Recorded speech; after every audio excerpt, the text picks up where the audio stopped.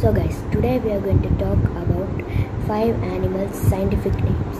We are going to talk about five animals scientific names. So uh, if you don't know what is a scientific name, all living all living creatures have scientific names such as flowers, animals.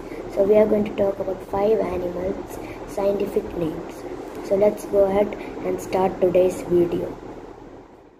The scientific name of elephant is Loxodonta. The, the elephant scientific name is Loxodonta. Second, the scientific name of tiger is Panthera tigris. Okay, the tiger's name is Panthera tigris. Third, the scientific name of lion is Panthera leo. The scientific name of lion is Panthera leo. It's the same as the uh, tiger but with leo. It's called Panthera leo. Fourth, the scientific name of horse is Equus caballus. Like the scientific name of horse is Equus caballus.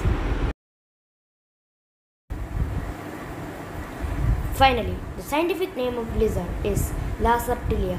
The scientific name of lizard is La- Lacertilia. Thank you guys for watching and see you next time.